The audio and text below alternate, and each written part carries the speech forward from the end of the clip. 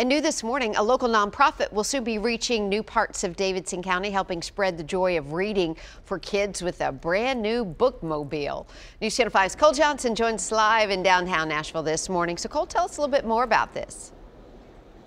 Good morning, Amy. Well, this is one of those stars aligning moments for this nonprofit Book'em. One of their uh, partners got wind that they were looking for one of these buses and then donated it to them. And if you're unfamiliar with this nonprofit, it is really amazing, actually, and it's based here in Nashville. They focus on children's literacy. Their executive director, Melissa Spradlin, says each year they donate more than 100,000 books to kids here in town, primarily low-income families. They have about 150 unique partners who help them distribute books books. Places like the Health Department, Habitat for Humanity, or schools, for instance, can request books for families they serve. She says really anyone working with lower income families can request them.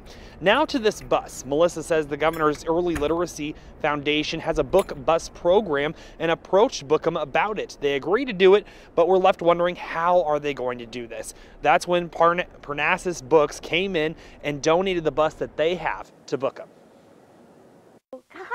we're going to be able to go to them and take a whole bus full of books, all kinds of books that kids are going to love, and we can kind of curate what's on the bus based on the population of kids where we're going to see, and the kids are going to have a great experience.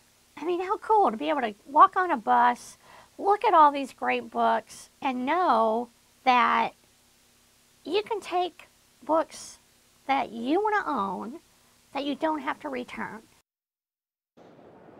And you can just really hear the excitement in her voice talking about this bus. They do have some work to do on it before it's really going to be able to get going, but they're planning on taking it to places like back to school events, apartments, as well as some other locations. And they're going to hopefully get it going by the summer. So we'll wait and see what happens with that.